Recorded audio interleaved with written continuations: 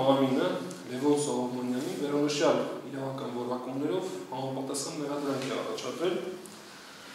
այն բանի համար, որ նա 2009 թվականի փետրվար 24-ից մինչև 2014 թվականի սեպտեմբերի 16-ին կա ժամանակահատվածում հանդիսանալով Savers-ը պես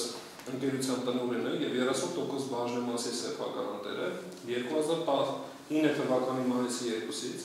Համատեղությամբ նաև նույն ընկերության գանձապահարը օգտագործելով ընկերության կանոնադրությամբ եւ համապատասխան նորմատիվ իրավական ակտերով սահմանված իր կարգադրիչ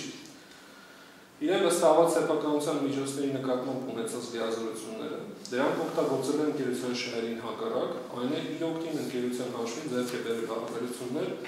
անձնական շահագրգռվածությամբ չարաշահել իր լիազորությունները միասնական դիտավորությամբ յուրացման եղանակով հապշտակել է ՍՊ-ի 9-ի 70% բաժնեմասի սեփականատեր Սերգեյ Մարտոյանի կողմից ներդրված, ինչպես նաև ընկերությանը պատկանող առանձնապես խոշոր չափերի ընդհանուր 61 միլիոն 935865 դրամ գումարը։ Եվ այդպիսով կազմալուծել ընկերության աշխատանքն ու վերջինիս համար առաջացրել ծանր հետևանքներ։ Ընկերության գործունեության ժամանակավոր խաթարման ձևով։ Այսպես, Սերգեյ Մարտոյանը 2009 թվականի սեպտեմբերի 20-ին գրավատնային գործունեություն իրականացնելու նպատակով հիմնադրել է Savers-ը ընկերությունը։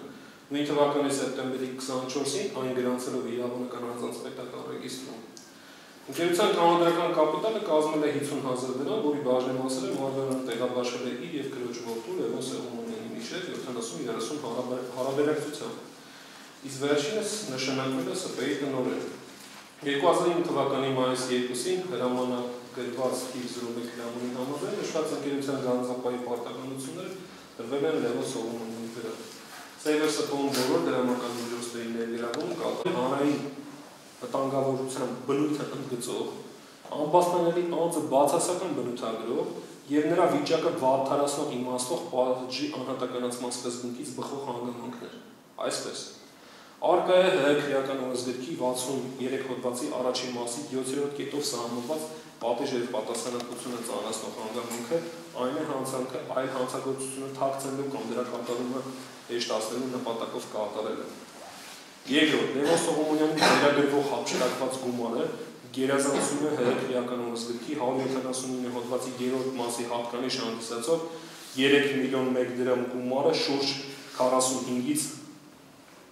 54 անգամ, ինչը ընդգծում է կոնկրետ արարքի առավել հանրային վտանգավոր բնույթը նմանատիպ արարքների շարքում։ 45-ից 54-ը խոսքը վերաբերում է 135 միլիոնի ինտերվալից մինչև 161 միլիոնի ինտերվալը հարգելի դատարան։ Ամբաստանյանը հանցանքը կատարելուց հետո որևէ միջոց չի ձեռնարկել դժողներին պատճառված վնասը վերականգնելու ուղղությամբ։ Ավելի բազմիցս հակասական փաստարկներով փորձել է պատրանք ստեղծել իբր ստեղծված իրավիճակը Սերգեյ Մարդոյանի կազմակերպած բանսարկության արդյունք է։ Երկու շեն 55 բնակարան հասցեում գտնվող գրասենյակից գաղտնի հապշտակել է ընկերության մի շարք կարևոր հաշվապահական փաստաթղթեր, այդ թվում տարածքային հակային մարմնի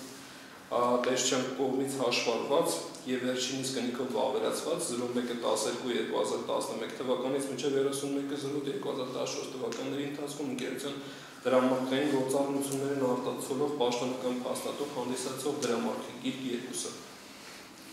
Առաջադրված մեղադրանքի հիմնավորումները, ապացույցները եւ փաստարկները։ Դժոխ կողմը հանգում է հետեւության, որ նախաքննության ընթացքում ձեռք բերված եւ դատաքննության ընթացքում հետազոտված ապացույցներով հաստատվել եւ հիմնավորվել է Լևոն Սողոմոնյանին առաջադրված մեղադրանքը։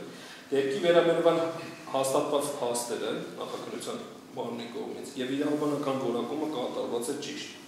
Նշված պնդումը հիմնավորվում է հետևյալ պատճառաբանությամբ։ Առաջին Լևոն Սողոմոնյանի իր պաշտպանություն բերված փաստարկների, ցուցմունքների եւ գործով ձեռք բերված ապացույցների համադրությունը։ Առաջադրված մեղադրանքի կապակցությամբ Սողոմոնյանը,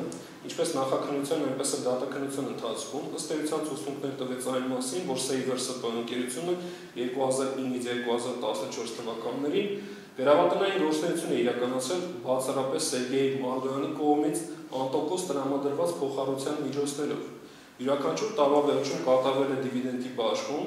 ինքը վերցրել է իր 30% շահաբաշինի, իսկ Մարդոյանը 70%-ը, սակայն վերջինս նշված միջոցները անմիջապես որպես փոխառություն տրամադրել է ընկերությանը։ Իր եւ Մարդոյանի հարաբերությունները եղել են նորմալ, սակայն իր տնօրինության վերջին 1 տարում Մարդոյանը իբր ստիպել է իրեն գրավի առարկա ավտոմեքենաների համար պահեստ օգտագործել հենց նրա գնաց տարածքը, որի վարձավճարը եղել է 100.000 դրամով ավելի։ Ինքը անհանգստանալով ընկերության տարեկան շահույթի վրա ազդող լրացուցիչ ծախսով հակադրվել է Սերգեյ Մանուկյանին